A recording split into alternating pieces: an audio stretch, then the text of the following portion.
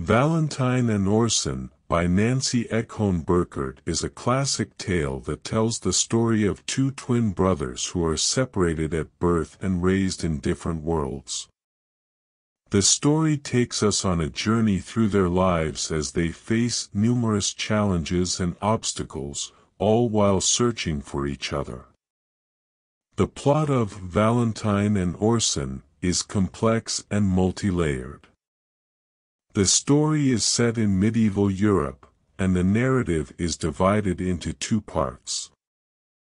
The first part focuses on Valentine, the son of the King of France, who is kidnapped by a bear and raised in the forest. The second part focuses on Orson, Valentine's twin brother, who is stolen by a wild boar and raised by a hermit in a monastery. The two brothers grow up to be very different from each other, with Valentine becoming a brave and skilled warrior, while Orson is raised to be a gentle and pious monk. The themes of Valentine and Orson are numerous, and the story is rich in symbolism and allegory. One of the central themes of the story is the importance of family and the bonds that unite us.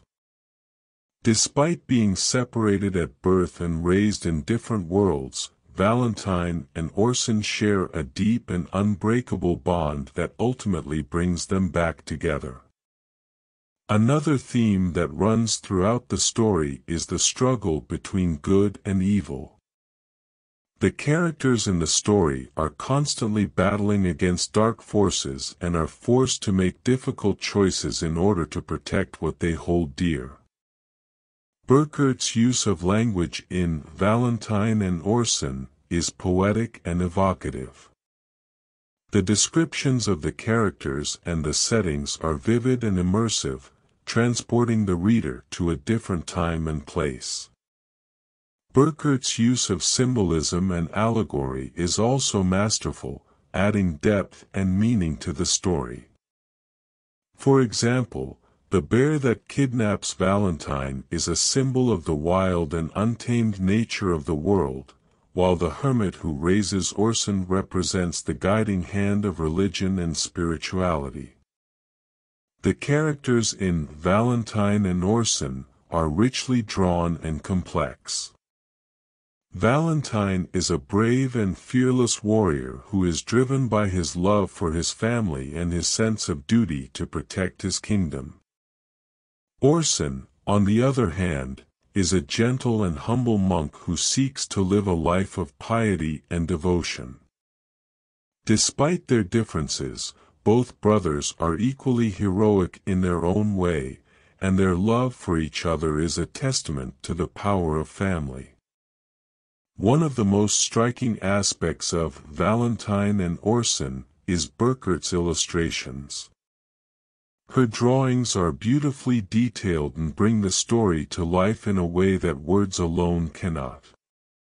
The illustrations are filled with intricate patterns and designs, and the characters are depicted with a realism and expressiveness that captures their personalities perfectly.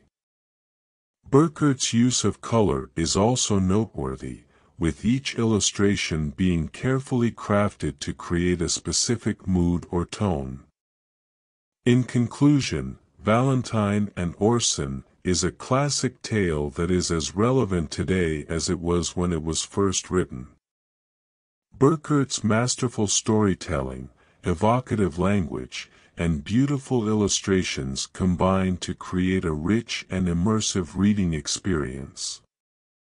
The themes of family, good versus evil, and the power of love are timeless, and the story serves as a reminder of the importance of these values in our lives. Valentine and Orson is a true masterpiece of children's literature, and a must-read for anyone who loves a good story.